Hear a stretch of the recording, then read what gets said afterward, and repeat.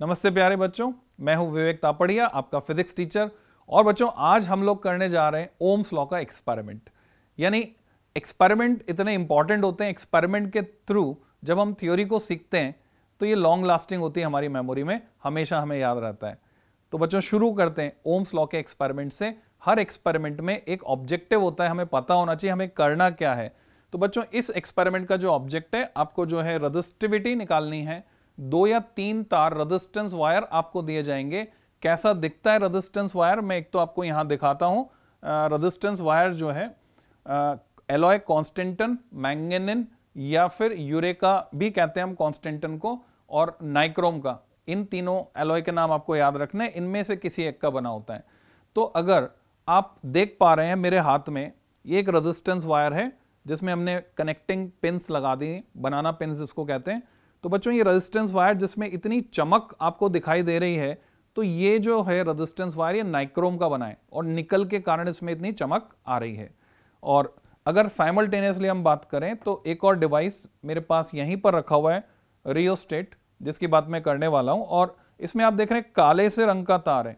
तो बच्चों, ये जो काला रंग है, ये मैग्नीज की वजह से है, ये मैग्नीज का एलॉय है, ये ब्लैक कलर का जो वायर है तो ये मैग्नीज का बना मैंगेनिन का बना हुआ है, मैग्नीज का एलॉय मैंगेनिन तो ये नाम तीन आपको याद रखने थे। दूसरा हमको चाहिए वोल्ट मीटर। जब हम कोई भी एक्सपेरिमेंट करते हैं तो कुछ एपरेटस हमारे काम आते हैं तो उसमें मेन था रजिस्टेंस वायर सेकेंड है हमारे पास वोल्ट मीटर।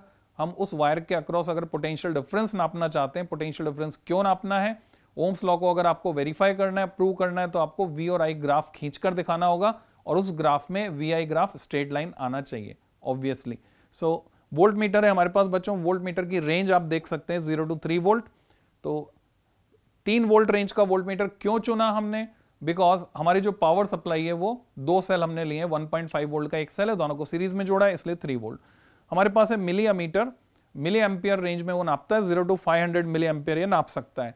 तो जो करंट दे रही है वाले सेल ये 500 मिली एम्पियर तक की करंट देते हैं, इसलिए ये सूटेबल रेंज है जो हमने चुनी है इस एक्सपेरिमेंट के लिए. नेक्स्ट रियोस्टेट की बात करेंगे बच्चों तो रियोस्टेट को ध्यान से आप देख लें, तीन टर्मिनल इसमें है। और अगर मैं इसको सेटअप पे आपको दिखा रहा हूँ तो सेटअप पर आप ये देख पा रहे हैं, ये डिवाइस जो है, वो रियोस्टेट है, जिसमें इधर ऊपर एक रॉड से जुड़ा हुआ है टर्मिनल दो टर्मिनल नीचे जुड़े हुए हैं। इसका जो कंस्ट्रक्शन है, बहुत ही सिंपल है। मैंगनेन का वायर का एक सिरा यहाँ जुड़ा हुआ है नीचे, फिर उसे गोल गोल घुमा दिया गया है प्लास्टर ऑफ़ पेरिस के सिलेंडर पर और दूसरा एंड इधर जुड़ा हुआ है। ऊपर इसको हम बोलते हैं स्लाइडिंग जॉकी जैसे घोड़सवार को जॉकी बोलते हैं, इसको बोलते हैं जॉकी, जिसे हम इस रॉड पे स्लाइड कर सकते हैं और ये किसी भी पॉइंट पे कांटेक्ट बना सकती है। अकॉर्डिंगली, उतनी लेंथ का रेजिस्टेंस सर्किट में इंट्रोड्यूस हो जाएगा।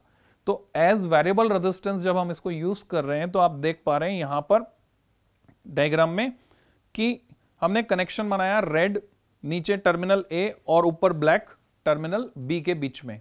ऐसा करने से हम इसका इस्तेमाल वेरिएबल रेजिस्टेंस की तरह कर पाते हैं। फिर नेक्स्ट अगर हम मैं बात करूँ करंट का जो फ्लो है, वो हमने दिखाया इसमें, जॉकी के थ्रू करंट का फ्लो, यानी पॉजिटिव इधर से करंट आई और इधर से गई नेगेटिव से। जैसा कि आप जानते हैं कलर कोड तो रेड पॉजिटिव के लिए और ब्लैक नेगेटिव के लिए। नेक्स्ट रियोस्टेट काम कैसे करता है, हम इस डायग्राम से थोड़ा सा समझ सकते हैं। आपको समझ में आ गया होगा कि किस तरह से ये वायर के थ्रू करंट फ्लो हो रहा है, और फाइनली टर्मिनल बी से निकला। अगला जो डिवाइस हम यूज़ करने जा रहे हैं, वो सेल है 1.5 वोल्ट के दो सेल हम यूज़ कर रहे हैं। पेंसिल सेल भी आप यूज़ कर सकते हैं मीडियम साइज़ भी और मोटे वाले सेल भी आप यूज़ कर सकते हैं। ट्रिपल ए बैटरी भी हम यूज़ कर सकते हैं बच्चों। नेक्स्ट है सेल होल्डर उस सेल को होल्ड करने के लिए। तो यहाँ से हमें आउटपुट मिल जाएगा, यानी ये हमारा पावर सोर्स हो गया। नेक्स्ट प्लग की है स्विच ऑन ऑफ़ करने के लिए। तो प्लग की इस तरह की दिखती है, जिसमें ये दो मेटल के कॉन्टेक्ट आप देख रहे हैं। जब हम बीच में प्लग लगा देते हैं तो सर्किट कंप्लीट हो जाता है। तो प्लग की के थ्रू हम सर्किट कंप्लीट करते हैं। और प्लग हटा देंगे तो सर्किट डिसकंटिन्यूस हो जाएगा। नेक्स्ट मीटर स्केल क्योंकि हमें जो रेजिस्टेंस वायर दिए गए हैं, उनकी लंबाई नापनी है तो लंबाई नापने के लिए हम प्लास्टिक या मेटल का मीटर स्केल यूज़ कर सकते हैं। इन जनरल वहाँ लैब में मीटर ब्रिज अवेलेबल होता है तो हम उसका जो लकड़ी का स्केल उस पर लगा हुआ है, उसको भी यूज़ कर लेते हैं। देन स्क्रू गेज हमको चाहिए, स्क्रू गेज बच्चों, मैं दिखाऊँ आपको तो ये डिवाइस मेरे हाथ में है। आप देख सकते हैं ये स्क्रू गेज इलेवंथ क्लास में आपको पढ़ाया जाता है एरर एनालिसिस में। तो स्क्रू गेज की मदद से हम वायर का गेज यानी वायर का डायमीटर निकाल सकते हैं। और उसकी ज़रूरत क्यों है? उसका एरिया ऑफ़ क्रॉस सेक्शन निकालने के लिए, जिससे कि रजिस्टिविटी निकाल पाए। तो स्क्रू गेज इस तरह का दिखेगा। नेक्स्ट कनेक्टिंग वायर्स हैं। तो कॉपर के वायर होते हैं बच्चों, उनके ऊपर धागे का इंसुलेशन चढ़ा होता है। तो व्हाइट कलर के ये वायर जो आप देख रहे हैं, इन्हीं से हमने कॉन्टेक्ट यहाँ पर ज्वाइन किया है सारे सर्किट का। ये आप देख पा रहे हैं कि ये जोड़ा गया हमने, इसको जोड़ा है धागे वाले जो इंसुलेशन के कॉपर के वायर हैं इनसे। सो कनेक्टिंग वायर्स का रेजिस्टेंस हम ज़ीरो मानकर चलते हैं। इसके बाद प्रिंसिपल की बात करें तो ओम्स लॉ जो है, इसका प्रिंसिपल है जो एक्सपेरिमेंट हम करने जा रहे हैं। Provided the physical condition temperature pressure etcetera remain same then current flowing through a conductor is directly proportional to potential difference applied across its ends तो V प्रोपोर्शनल I और ज़्यादा सही है, अगर I प्रोपोर्शनल V लिखते पर V proportional I यहाँ पर वैलिड होता है रिवर्स रिलेशन भी वैलिड है, और जब हम कांस्टेंट लगाते हैं बच्चों, वो रेजिस्टेंस है। तो गिवन मटेरियल गिवन वायर के मटेरियल का रेजिस्टेंस V अपॉन आई हमको एक्सपेरिमेंटली डिटरमाइन करना है। फिर रजिस्टिविटी निकालने के लिए हम ये फॉर्मूला इस्तेमाल करने वाले हैं आर ए बाई एल उसके लिए हमें डायमीटर चाहिए और डायमीटर के लिए हम स्क्रू गेज यूज़ करेंगे बच्चों। और लंबाई नापने के लिए सिंपल स्केल हमारे पास है ओम मीटर में रजिस्टिविटी आ जाएगी। सो so, ये पूरी इसकी थ्योरी हो गई। सर्किट डायग्राम जो जैसे हमने सर्किट में जोड़ा है यहाँ पर आप देख सकते हैं। तो वोल्ट मीटर को हमने रजिस्टेंस वायर के पैरल में जोड़ा है अमीटर को सीरीज़ में जोड़ा है। रियोस्टेट सीरीज़ में की सीरीज़ में, और बैटरी से यहाँ से सप्लाई दे रहे हैं बैटरी थ्री वोल्ट की है। एंड ये सारे नेमिंग यहाँ पर करके आपको बता दिए कि कौन क्या है। वैसे आप पहचान ही गए होंगे और एक्चुअल सर्किट में अभी आपको हम दिखा रहे हैं, ये जो सेटअप फ़ोटो आप यहाँ देख रहे हैं, वही आपका एक्चुअल सेटअप एग्जैक्टली यहाँ पर है, जिस पे अब एक्सपेरिमेंट परफॉर्म करके हम रीडिंग्स निकालने वाले हैं। देन कैसे कैलकुलेट करें लीस काउंट अब ये लीस काउंट क्या होता है बच्चों? लीस काउंट फिजिक्स इतनी आसान है, जो नाम का मतलब है वही है। लीस्ट यानी मिनिमम तो मिनिमम कितना नापेंगे ये इंस्ट्रूमेंट कोई भी इंस्ट्रूमेंट मेजरिंग इंस्ट्रूमेंट हम यूज़ कर रहे हैं तो उसका लीस काउंट हमें पता होना चाहिए। So total range total number of division से अगर हम डिवाइड कर दें तो हमें लीस काउंट मिल जाता है। यानी हम ये जानना चाहते हैं कि एक सबसे छोटा डिवीज़न कितना नाप रहा है। तो वोल्ट मीटर की अगर बात करें, यहाँ देख पा रहे हैं हम पॉइंट वोल्ट नाप रहे हैं टेन डिविजन तो ten division point five volt नाप रहे हैं। और पूरी अगर रेंज हम लें तो थ्री वोल्ट तक ये रेंज है इसकी पूरी। और दोनों ही तरीके से, या तो पूरी रेंज लेकर या फिर 10 डिवीज़न 0.5 दोनों तरीके से हम रिज़ल्ट निकाल सकते हैं। या तो थ्री वोल्ट सिक्सटी डिविजन या 0.5 वोल्ट टेन डिविजन, और उससे हमें ये रिज़ल्ट मिलता है कि इसका लीज काउंट हो गया 0.05 वोल्ट। और जब हम रीडिंग लेंगे तो नंबर ऑफ़ डिविजन में लेंगे और नंबर ऑफ़ डिविजन को जैसे मल्टीप्लाई करेंगे लीज काउंट से हमें वोल्टेज में रीडिंग मिल जाएगी। और इसी तरह से हम मिलियामीटर का लीज काउंट निकाल सकते हैं। सो so, ऑब्जर्वेशंस में आपको ये डिटेल्स भरनी होंगी। लंबाई नापेंगे हम तारों की। तारों की लंबाई नापकर हम यहाँ ऑब्जर्वेशंस में फिल कर देंगे कि कितनी कितनी लंबाई के तार हम इस्तेमाल कर रहे हैं जिससे कि उसका उसकी रजिस्टिविटी हम कैलकुलेट कर सकें। सो so, ये सब आपको अपने प्रैक्टिकल बुक में मिलता है। जो आप फ़ाइल बनाते हैं उसमें भी मिलती है डिटेल सारी। तो यहाँ अवेलेबल है ये मेरे पास खाली ऑब्जर्वेशन टेबल जिसको हमें एक्सपेरिमेंट के थ्रू फिल करना है। ऑन द स्पॉट में यहाँ पे फिल भी कर सकता हूँ but it will take time तो मैं आपको एक रीडिंग निकालना बताऊँगा और मैं यहाँ पे ऑलरेडी एक सैंपल चार्ट आपको दे रहा हूँ जैसे कि रीडिंग किस तरह से आ रही कैसे कैलकुलेट करनी है। सो so, बच्चों अब आते हैं हम इस सर्किट पर। इस सर्किट को देखो आप। मैंने जैसे ही प्लग की ऑन किया इसको तो हमें अब यहाँ पर वोल्ट मीटर ये अमीटर है, ये वोल्ट मीटर इन दोनों में रीडिंग्स कुछ दिखाई दे रही हैं। रियोस्टेट की जॉकी को स्लाइड करके अगर मैं इस एंड पर ले आता हूँ तो अभी रेजिस्टेंस है मैक्सिमम पूरे वायर का रेजिस्टेंस सर्किट में इंट्रोड्यूस हो गया है। इस पर लिखा हुआ ऊपर लेबल लगा है हंड्रेड ओम तो हंड्रेड ओम रेजिस्टेंस इंट्रोड्यूस हो गया है। करंट ऑलमोस्ट नेग्लिजिबल है। पर जब मैं रेजिस्टेंस ज़ीरो की तरफ़ ले जाता हूँ तो आप देखेंगे यहाँ रीडिंग बढ़ रही है। तो हम ये डिसाइड करेंगे कि हमें किस रेंज में कितने कितने डिवीज़न के इंटरवल पर रीडिंग लेनी है। तो उसको, उसके डिसीज़न का तरीका यह है, पहले तो आपको देखना है कि वोल्ट और एम्पियर इनमें से किसको आप एक्स एक्सिस किसको वाई एक्सिस पे प्लॉट करने वाले हैं। तो हमने तय किया कि वी आई ग्राफ बनाना है हमको तो हम करंट को एक्स एक्सिस पे लेंगे और वोल्टेज को वाई एक्सिस पे लेंगे, जिससे इसका ग्राफ का जो स्लोप है सीधे सीधे हमें रेजिस्टेंस को रेजिस्टेंस की वैल्यू दे देगा। तो अभी मैं देख रहा हूँ कि करंट में 10, 20, 30, 40 यहाँ टोटल 40 डिविजन्स का डिफ्लेक्शन मुझे मिल रहा है।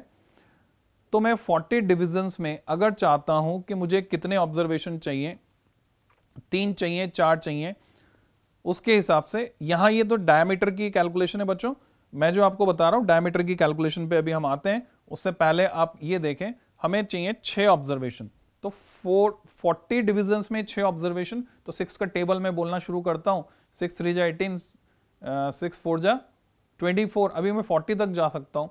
तो मैं पाँच पाँच, मेरे को कैलकुलेशन आसान चाहिए तो मैं क्या करता हूँ, पाँच पाँच डिवीज़न से वेरिएशन से रीडिंग ले लेता हूँ। तो पाँच पाँच डिवीज़न वेरी करा के मैं रीडिंग अगर लेता हूँ तो कैलकुलेट करना मेरे लिए आसान रहेगा।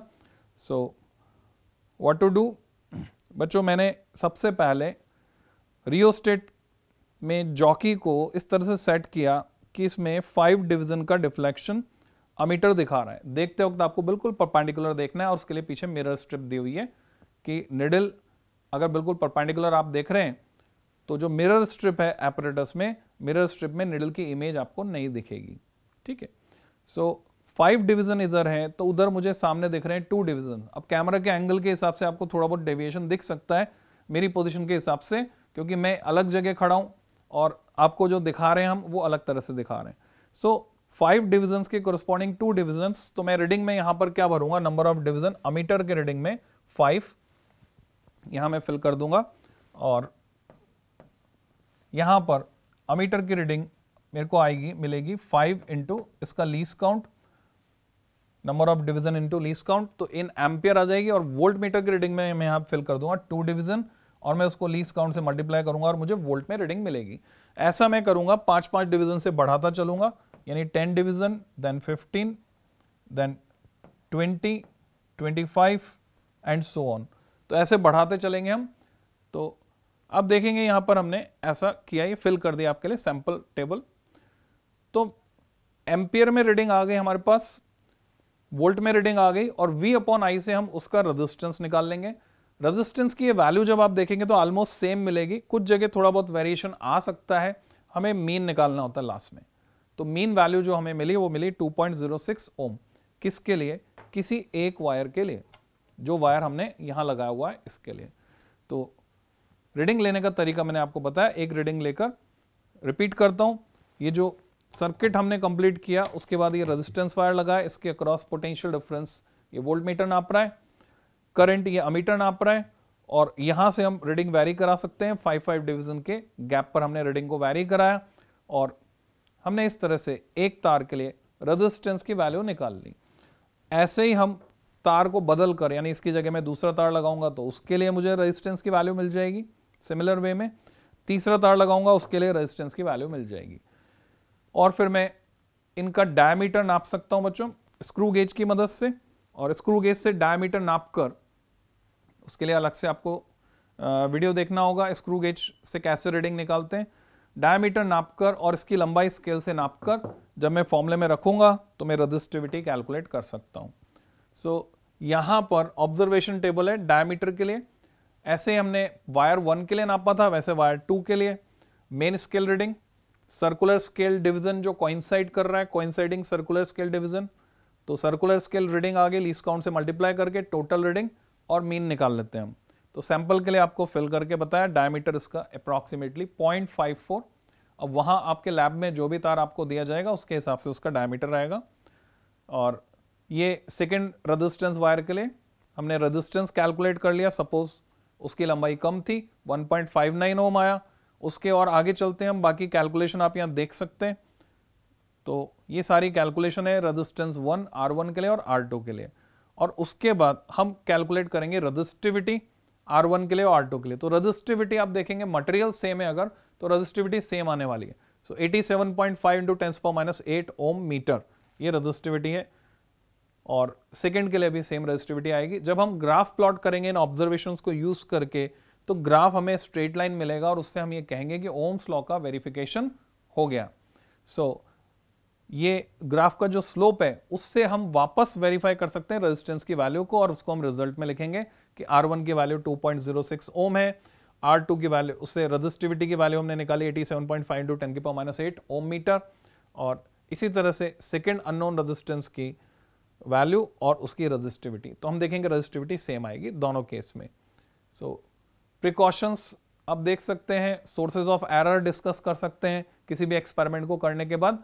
So this is all about experiment of Ohm's law तो बच्चों, फिर मिलते हैं हम नेक्स्ट वीडियो में अगले एक्सपेरिमेंट के साथ. टिल देन हैप्पी लर्निंग अब एलन के साथ तैयारी सक्सेस की।